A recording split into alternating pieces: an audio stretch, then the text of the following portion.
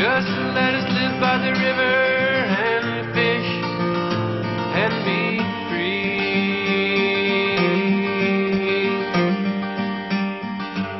Indian people everywhere are beginning to look back for the strength and wisdom that was theirs long before the white man came with his promises. For many tribes and nations, people are traveling around the country, sharing knowledge of their Indian teachings and news of their struggle for Indian rights. Some of the people who came to Frank's Landing stayed to help.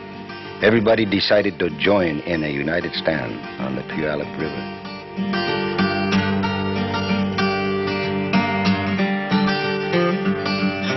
The Puyallup Tribal Council had discovered a tiny piece of land in Tacoma between the railroad tracks and the sewage treatment plant that had never been sold and was still Puyallup Reservation. Here they set up a camp and announced that they were going to fish and protect their nets with armed guards.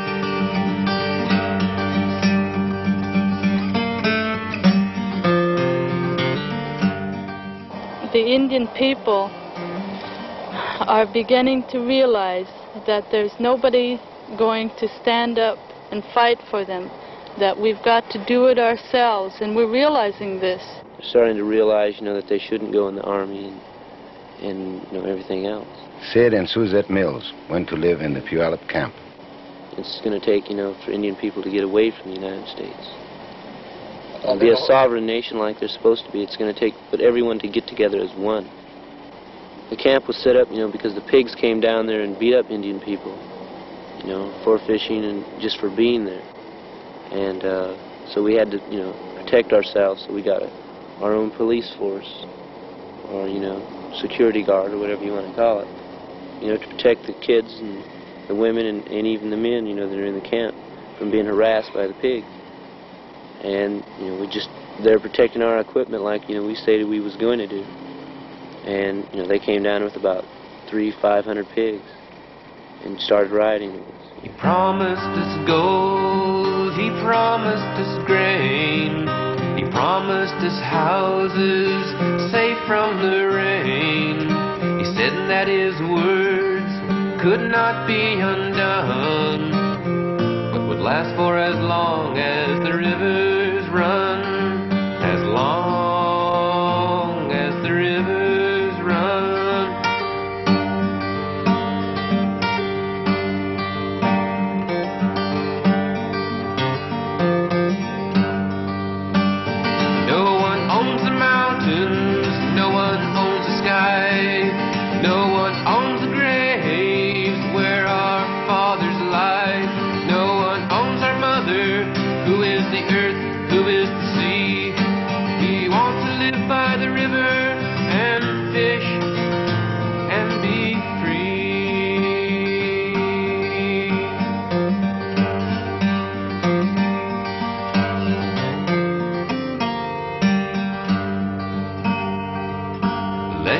said no, he was caught, he was hung.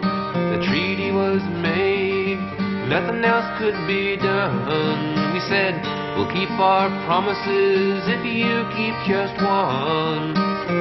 Let us fish for as long as the rivers run,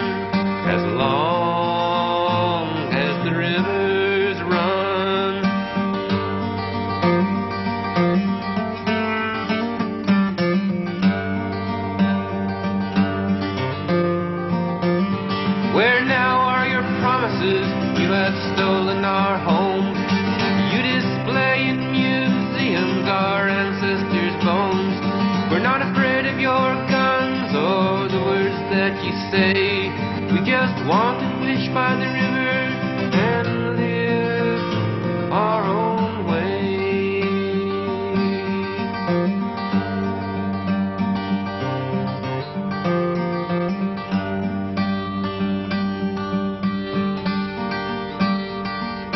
are stronger than us with their courts and their jails. But the strength of the earth and the sky never fails. We've the power of the river, the light of the sun.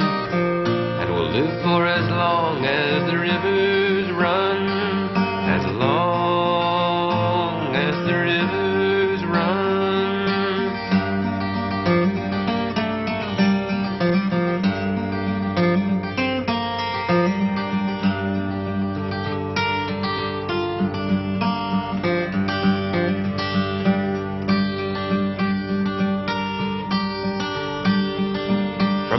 oceans of ice to the deserts of sand.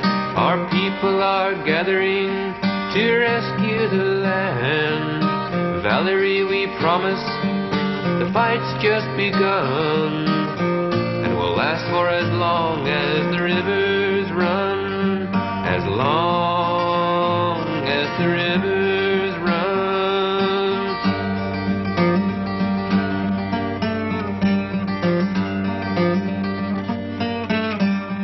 Years of struggle, beatings, jails, thousands of dollars to Bale's bondsmen. And at the end of 1970, what was there to show for it? Actually, the Indians had made a couple of steps forward. They were winning a few cases in court. The state was finding it harder and harder to defend its policy of complete prohibition of net fishing on rivers.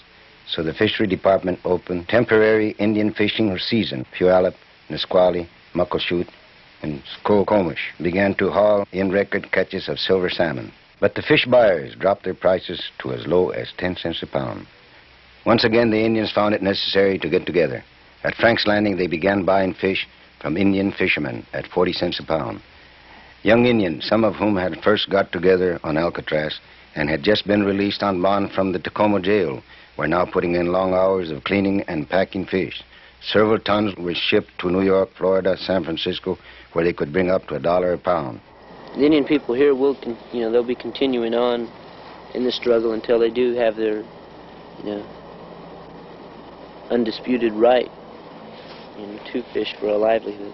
We have the Puyallup encampment on the Puyallup Indian Reservation, and we have the state of Washington coming in and dragging Indian people off Indian land and throwing them in jail for uh, three or four days with with these ridiculous high, ridiculously high bails.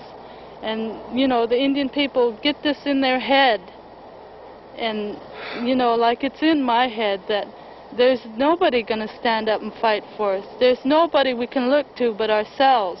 And and like like like we set up this this uh, fish fish processing project. Uh, we buy fish from nearby Indians right here on Frank's Landing. And this is to eliminate the middleman, to eliminate that other way of killing us by dropping the fish price when the fish are coming in the hardest, you know. And like we we're bu- trying to buy them on a level where the Indian people can support themselves. Just like, you know, very soon there's the steelhead are going to be running in this river.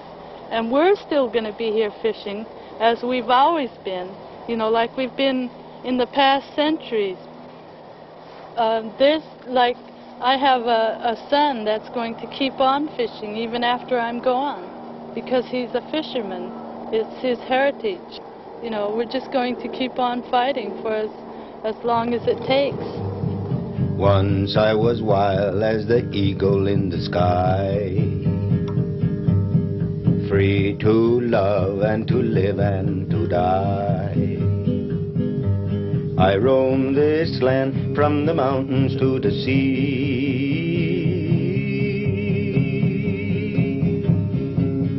Brother to the elk, the bear, and the deer.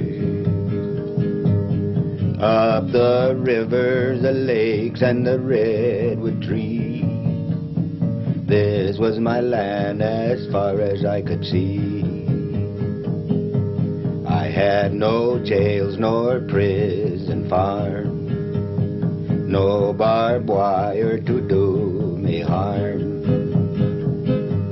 I paid no one to rule over me.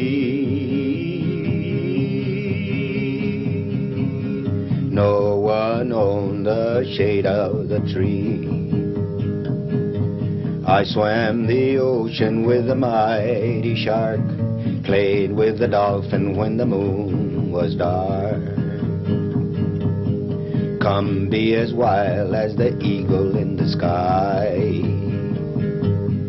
free to love and to live and to die.